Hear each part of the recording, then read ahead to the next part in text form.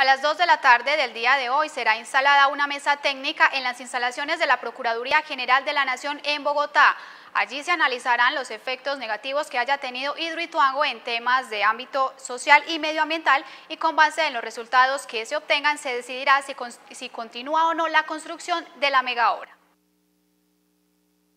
En las últimas horas, la Fiscalía presentó peritajes técnicos que evidenciaron, al parecer, graves afectaciones a los recursos ambientales por parte de las obras relacionadas con la construcción de Hidroituango. Por esta razón, se autorizó la conformación de una mesa técnica que evaluará el impacto del proyecto y su continuidad.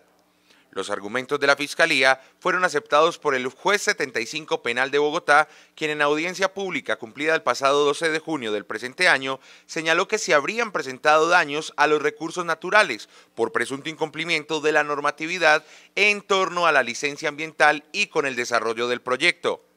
de la primera disposición judicial se empezará a dar cumplimiento este viernes 21 de junio de 2019 a las 2 de la tarde y será la instalación de una mesa técnica que deberá obtener un estudio a profundidad sobre la estructura rocosa en la que está ubicada la hidroeléctrica y evaluar el impacto y estabilidad ambiental del proyecto con el propósito de definir la continuidad o suspensión del mismo. De este grupo harán parte la Fiscalía General de la Nación, la Contraloría General de la República, la Gobernación de Antioquia, los Ministerios de Ambiente y Salud, la Autoridad Nacional de Licencias Ambientales, las empresas públicas de Medellín, Hidroituango y los representantes de las víctimas y asociaciones reconocidas en el proceso.